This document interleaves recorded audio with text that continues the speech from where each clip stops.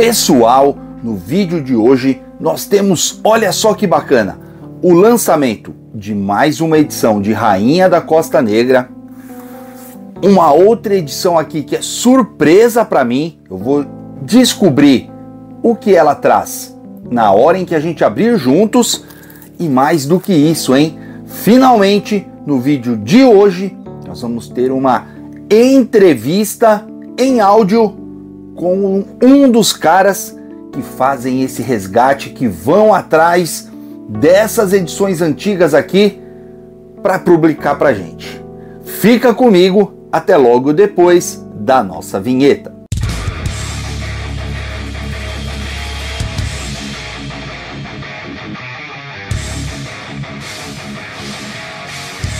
Opa, galera! Beleza? Cássio Vitti na área. Bom, sejam todos muito bem-vindos, principalmente você que está conhecendo o nosso canal através desse vídeo aqui. Sinta-se em casa, fique bem à vontade, mas eu quero te pedir um voto de confiança logo de saída. Deixa o seu like agora. Acompanhe o vídeo até o finalzinho. Se chegar lá na frente, você não curtir o vídeo, aí você pode até tirar o like, tá bom? Mas aguarda a gente volta a falar sobre isso antes do final desse aqui. Olha só, galera, é exatamente isso que eu falei lá na aberturinha. A gente vai ter hoje aqui uma entrevista em áudio com um dos caras, eu não sei quem ele é, mas nós vamos ter uma entrevista com os caras que vão atrás desses materiais aqui de Rainha da Costa Negra eu mandei algumas perguntas para ele, ele respondeu para a gente em áudio e eu vou mostrar para vocês logo depois que a gente der uma folhada nessas edições, tá bom? Então, hoje é importantíssimo ficar até o finalzinho do vídeo, hein? Antes disso, só preciso agradecer muito aí, ó, a galera que vem me ajudando com a chave Pix. Eu tenho solicitado aí uma ajuda via Pix para a gente poder continuar pagando o StreamYard e fazendo aí, ó, três lives semanais aqui no canal. E eu vou dizer a verdade, hein, já tá ficando pouco o número de artistas querendo participar. Olha, tá bem bacana isso. Então, essa galera que vocês estão vendo aí na tela, ó, são as pessoas que já me ajudaram durante agora, o mês de agosto. A gente já começou o mês com essa galera aí ajudando a gente para pagar o StreamYard de setembro. Ainda estamos bem longe de conseguir acumular o valor suficiente para a gente pagar o StreamYard de setembro, mas a gente já começou essa luta aí, então agradeço muito essa galera que viram aí na tela há pouquinho, tá bom? Se você quiser ajudar a gente aqui no canal, a chave Pix está aí, você pode me ajudar com qualquer valor que olha, é muito importante. A gente tem até o final do mês para conseguir esse valor, tá bom? Outra forma que você tem de me ajudar é utilizando o meu link da Amazon. Eu deixo aqui na descrição do vídeo um link geral do canal. Você pode entrar ali e comprar qualquer coisa, desde um gibizinho até uma Smart TV 75 polegadas. O preço do produto para você não altera em nada.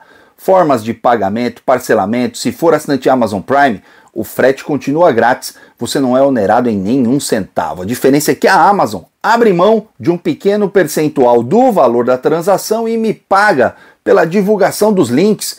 Poxa vida, cogite aí a possibilidade de me ajudar dessa forma. Bom, então vamos lá, vamos dar uma olhadinha nessas duas edições que chegaram aqui. E importante, hein? Essas duas edições estão disponíveis a partir de hoje. Esse vídeo aqui é mais ou menos aí uma espécie de vídeo de lançamento dessas duas edições aqui, não das edições em si, mas da venda através da loja da editora Criativo. Olha só que bacana. Então, hoje, hoje mesmo, terça-feira, se você está assistindo o vídeo na estreia, hoje essas duas edições aqui, ó, já estão na loja da Editora Criativo, o link da loja aqui na descrição e eu deixo na descrição também o WhatsApp do Carlos, né, que é o proprietário ali da loja e a loja criativa é um dos pontos onde você pode conseguir adquirir essas edições, tá bom? Vamos lá, vamos abrir aqui. Vamos primeiro aqui, ó, abrir essa edição aqui, que é a de número 16 da Rainha da Costa Negra. Só lembrando, essa aqui é a 16, mas é, essas edições não estão sendo publicadas na ordem é, correta de lançamento, tá? Eles lançaram primeiro a edição de número 10, depois eles lançaram a edição de número 38 e agora eles estão lançando a edição de número 16. Por quê? Isso aqui, os lançamentos são feitos de acordo com o que eles conseguem resgatar dos originais aí pela internet, tá bom? Então, a edição de número 16 chegou aqui, ó. Que bacana, mantendo aí o mesmo padrão, né? Lembrando, aqui são as primeiras histórias do Conan em quadrinhos, né? A adaptação dos contos de, de Robert E. Howard e também histórias adicionais baseadas né, no, no personagem. E essa aqui foi a primeira vez em que esses quadrinhos foram é, adaptados, né? Olha só que bacana. Lembrando, essas adaptações aconteceram no México, ali nas décadas de 50 e 60, bem antes da Marvel fazer essas adaptações. Olha só que bacana. E a edição, ó, tem orelha, edições bem caprichadas, olha só, e tem para textos também. Olha aqui, ó. Nós temos aqui, no caso dessa edição, por exemplo, ó, nós temos Deixa eu abrir aqui. É que eu tô meio enrolado. Olha só. São quatro páginas aí de paratextos. Cara, muito bacana. Sensacional. Eu, particularmente, estou adorando essa coleção aqui. Vou colocar aqui, ó, junto com as outras. E chegou essa outra aqui, ó. Essa aqui só tá dizendo assim, ó, é Robert E. Howard, 1934, a Rainha da Costa Negra, conto original que deu origem à série. Então isso aqui, eu estou imaginando que seja o conto mesmo em prosa, né? Publicado nesse formato aqui, ó, no mesmo padrão das edições, para poder dar uma contextualização ao que a gente lê aqui. Isso é muito bacana. Eu não tenho certeza se isso aqui foi, foi publicado no México também dessa forma na época, né? Acredito eu que sim, mas eu não sei, não tenho essa informação. Vamos lá? Vamos tirar aqui. Olha só que bacana, a capa bem legal também, ó. Tem um texto aqui atrás, ó. Muito legal. A edição segue exatamente o mesmo padrão, ó. Orelha. Aqui na orelha nós temos uma biografia do Robert E. Howard com essa foto aqui. Eu acho que ele só tirou essa foto na vida. E na última orelha aqui também tem um, um, um paratexto aqui, ó. E aí, ah, a gente já vê aqui a capa da Weird Tales, em que foi publicada pela primeira vez originalmente esse conto. Legal, né? Ah, é isso mesmo, ó. A gente tem aqui o frontispício e depois nós temos aqui o conto, exatamente, ó. Aqui não é quadrinho, é Olha que bacana, é o conto. Então nós temos aqui o conto. Eu não sei se foi traduzido de novo agora ou não. Deixa eu ver se eu acho alguma informação aqui com relação à tradução e tal. É, ó, ilustração de Hulk Hogan da primeira edição de Rainha da Costa Negra, publicada em Weird Tales de 34. Ah, não. Então aqui é a ilustração que foi utilizada no conto, na publicação lá, é, e não temos nenhuma informação aqui com relação à tradução e tal, pelo menos olhando assim em linhas gerais. Vou fazer o seguinte, ó, a gente vai inverter agora o ângulo da câmera, né? Vou dar a virada de página para a gente ver essas edições bem de pertinho. E aí depois que a gente fizer isso, eu viro a página mais uma vez para a gente ver aí a entrevista com um dos caras que vai atrás desse material para gente. Se segura aí, porque eu vou virar a página agora. Vamos! Então, vamos lá, vamos dar uma olhadinha como ficaram as edições antes da gente ter aí essa entrevista em áudio com um dos responsáveis pelo trabalho, tá bom? Vamos lá, olha só. Reprodução da capa da época, tá vendo? Ó, olha só, toda brilhante, né? Num papel cartão. Olha aqui, ó, editada no México de 65 a 66. E a capa a ilustração da época, né? Na capa de trás aqui uma reprodução de publicidade da revista original mexicana. Olha só. Bem legal. Capa cartonada, como eu já falei, uma orelha bem grande. Isso é muito bacana. Deixa eu ver como é que fica melhor para mostrar aqui para vocês. Olha só. Olha isso aqui, que legal, tá vendo? As três séries originais mexicanas da Rainha de Costa Negra, onde Conan aparece pela primeira vez. E olha só, tem toda a contextualização aqui do que é cada uma dessas capas. A impressão está bem bacana, tá bom? Olha só.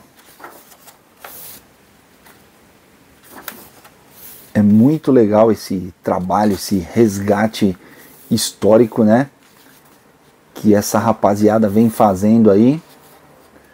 E o Carlos sabendo aí do interesse da gente, colocou também à venda na loja da Livraria Criativo. Olha só que legal.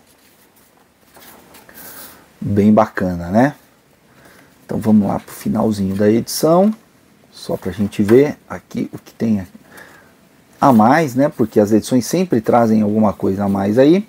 Então aqui nós temos esse texto aqui, ó, Rainha da Costa Negra, Amor na Era Iboriana espada, feitiçaria e paixão. Olha só que legal, rapaziada. Muito bacana, viu? Muito bacana mesmo. Incrível, ó. É, a Rainha da Costa Negra foi publicada pela primeira vez no formato de conto em Weird Tales 23, lançado originalmente 5 de maio de 34, nessa edição aqui, ó. Olha só. Que legal a capa da, da edição não retratava o conto, né? Da Rainha da Costa Negra, era uma revista que trazia alguns contos, né? E aqui dentro nós temos o conto, ó, Queen of the Black Coast. Bem bacana, né? Olha só, e aqui nós temos uma galeria de capas da primeira série, ó, de 52. Cara, que legal, que legal, que trabalho bacana. E desta vez está sendo lançada junto, olha só, essa edição aqui, ó, que é o conto original, né? Que deu origem à série, ó, uma capa bem bacana. Aqui atrás, ó, tem um, um, uma sinopse, ó, Rainha da Costa Negra é um dos contos originais sobre Conan o Cimério, escrito pelo renomado autor americano Robert E. Howard e inicialmente publicado na revista Weird Tales em torno de maio de 34. Situado na era iboriana, o relato narra as façanhas de Conan como um pirata temível que pilhava os vilarejos costeiros de Kush ao lado de Belit, a princesa pirata de espírito indomável. Graças à sua narrativa épica e ao romance singular, essa obra é considerada um clássico indiscutível do universo de Conan, frequentemente mencionada por estudiosos de Howard como uma das mais famosas narrativas. Olha só que legal, muito bacana. E aqui, ó, a, a, biografia, acho que todo mundo já conhece essa biografia, né, do, do Howard. Aqui nós temos então, ó, a ilustração que foi utilizada na época, olha só, da publicação do conto. E aqui nós temos então o conto mesmo, tá bom? É o conto em prosa, olha só. Que legal, né? Muito bacana, não tem ilustração nenhuma na parte interna, nada. É, o conto, ah não, tem alguma ilustração aqui, ó, esta, por exemplo, né? Que não é da época. Cara, muito legal isso aqui, viu? Muito bacana. Achei bem, bem, bem legal mesmo, né? E aqui mais uma vez a reprodução da capa, né? Da Weird Tale original. E aqui tem esse outro texto, ó, Belit, a Rainha da Costa Negra. Que bacana, que bacana. Olha sensacional, pessoal. E assim, ó, vou lembrar aí vocês, esse vídeo aqui é praticamente um vídeo de lançamento dessas edições na loja da Criativo, tá bom? Não sei se já estava vendendo em outros locais, enfim.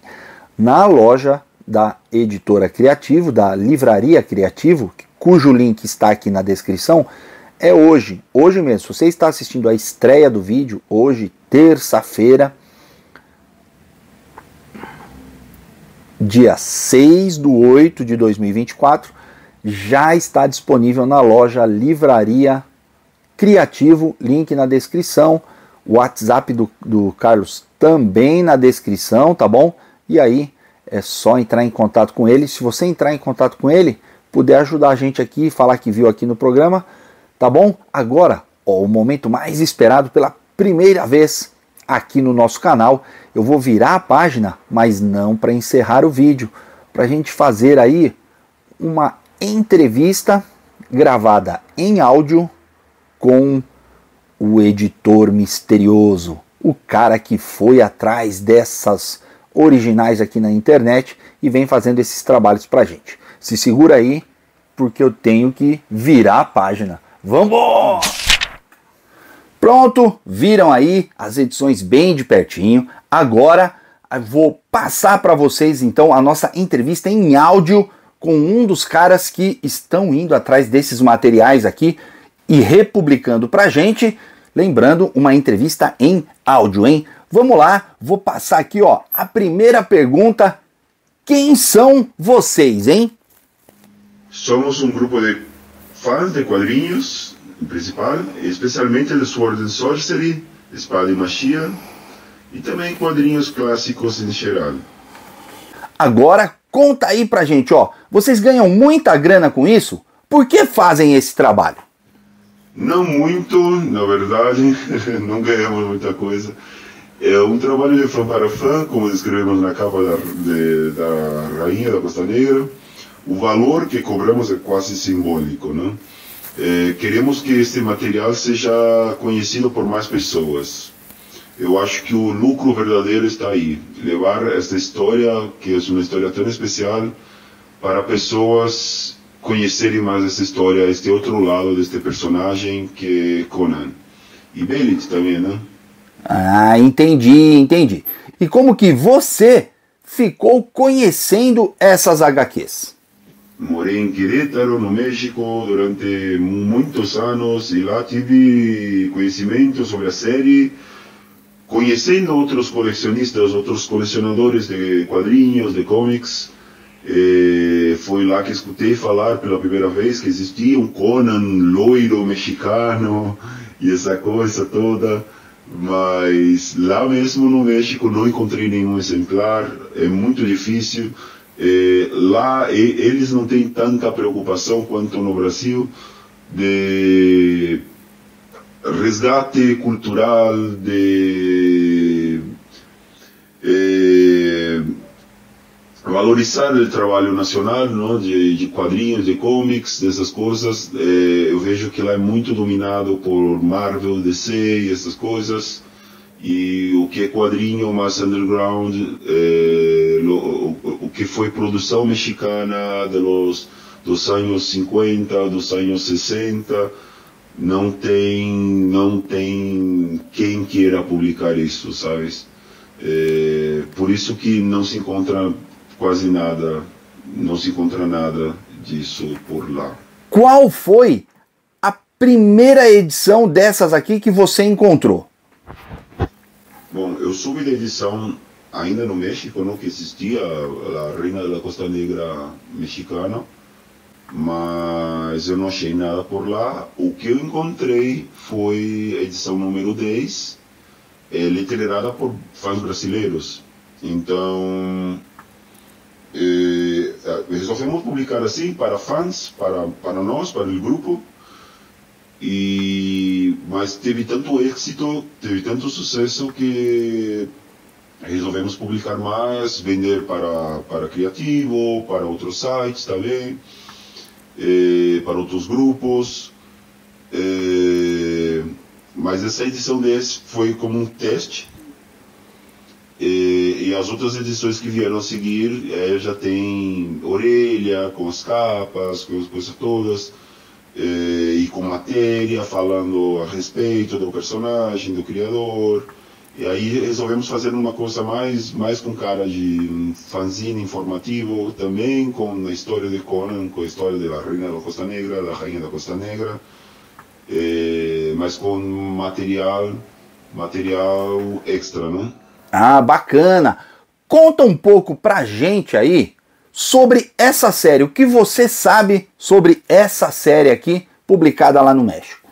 Hum, na verdade, a série foi lançada três vezes. É, a, a, série que estamos lançando agora é, acredito eu, é a única que sobreviveu, que é a terceira edição, que saiu a partir do, do, do ano 65 pela Ediciones Roma, que era uma editora mexicana. É, não tenho certeza de quantos números foram lançados de eh, Rainha da Costa Negra, os números nas fontes não são iguais. É, antes disso, não, nos anos 50 e 52, isso é, 13 anos não, antes de Edições Roma lançarem, eh, já saía a Reina da Costa Negra, Rainha da Costa Negra, eh, na revista chamada Cuentos de Abuelito, mas saía com outros personagens também, como a Aranha, a Kunga, que era como uma xena, pero mexicana. Eh, eh, Cuentos de Abuelito teve mais ou menos 100 edições, sendo que nem todas são com a Rainha da Costa Negra.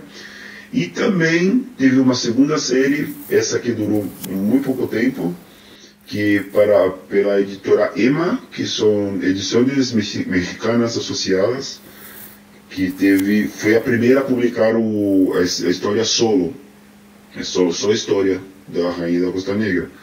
E esta foi foram 11, 11 edições.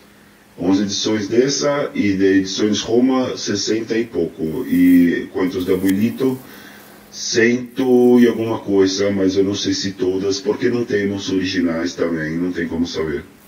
É, então, Contos de Abuelito foram cento e poucas, edições Roma 60 e alguma coisa, e edições EMA, edições mexicanas associadas, 11 edições.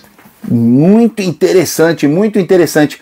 E essa aqui realmente foi a primeira vez em que o Conan foi retratado em quadrinhos? A primeira aparição de, de Conan de Conan na série, no, porque Bellet era o personagem principal. Eles queriam fazer que Bellet fosse o personagem principal e Conan fosse o personagem secundário de, da história. Não sei de onde surgiu a, o interesse, mas se deu no ano de 1952 e tem, tinha como matriz o conto de, de Robert Howard, que os roteiristas do, dos quadrinhos tiveram liberdade criativa para criar o que fosse em cima da história de Conan, né? de, de de Conan. É, muita gente acha estranho que Conan tenha na é, Rainha da Costa Negra apareça como um viking, um loiro, um, com capacete com chifres. Mas esta definição de Conan já aparece nos contos de Robert Howard.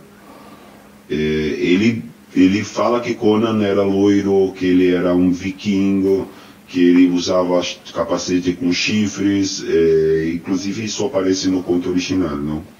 É, a história, por, pelo que eu saiba, por, por o que sabemos até agora, é, do, número 1 ao número 16, ela segue o mesmo, o, o, o, o roteiro do, do, de Rainha da Costa Negra, o conto original, do Robert Howard.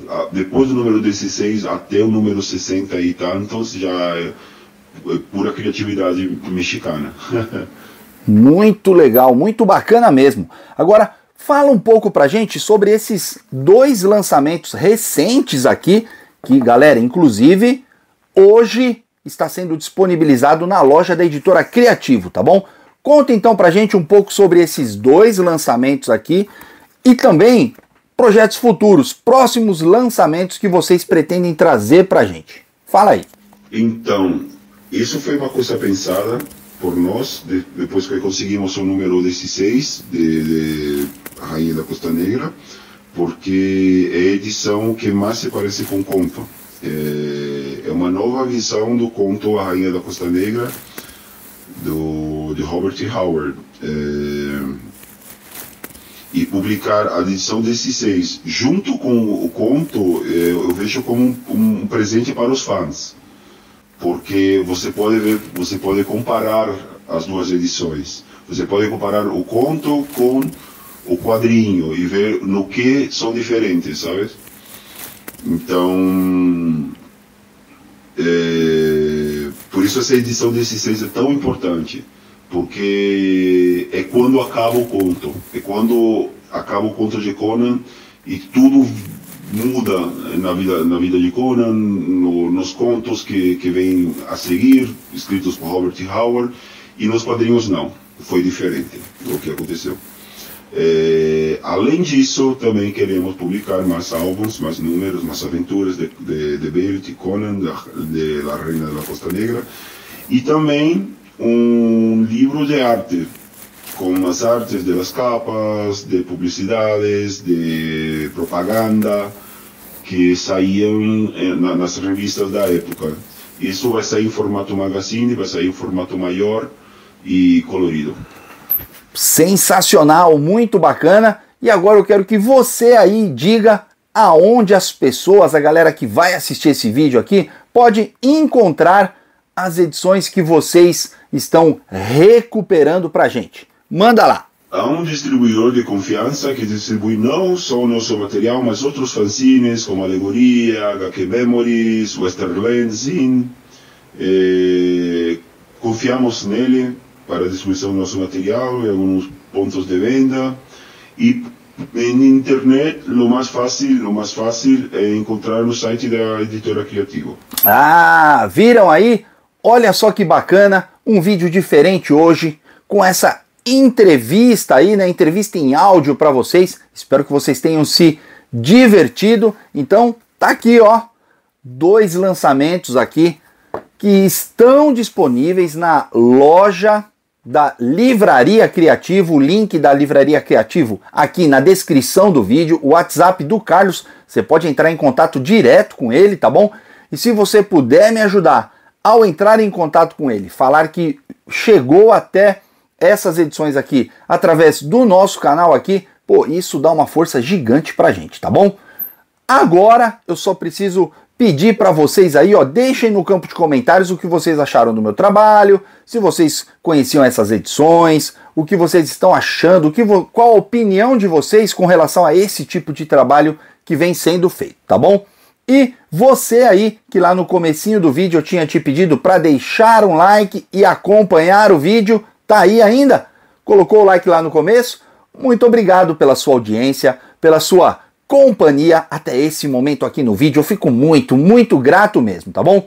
Quero te pedir o seguinte, ó, deixe também no campo de comentários o que você achou aqui do meu trabalho. Se você curtiu, não curtiu, se por acaso não curtiu, quiser tirar seu like daí, não tem problema nenhum, pode tirar o like. A gente não vai perder nossa amizade por causa disso.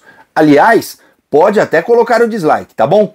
Agora, se você curtiu o vídeo e decidiu deixar o like aí, nesse caso eu multiplico os meus agradecimentos e faço a você a minha reverência. Muito obrigado. Aproveito essa oportunidade e te peço o segundo voto de confiança. Se inscreve no canal, toca no sininho, dá uma navegada pelas playlists do canal. Eu tenho mais de 2.100 vídeos aqui. Tenho certeza que algum outro você vai curtir. Bom, galera, foi isso. Muito obrigado a todos e nos vemos no nosso próximo vídeo. Não se inscreveu ainda? Tá perdendo tempo. Se inscreve aqui, ó, nesse botão aqui em cima e eu deixo também dicas de vídeos mais antigos do canal. Me ajuda aí, assistam desses vídeos, deixe um like lá também. Sem mais delongas, fui.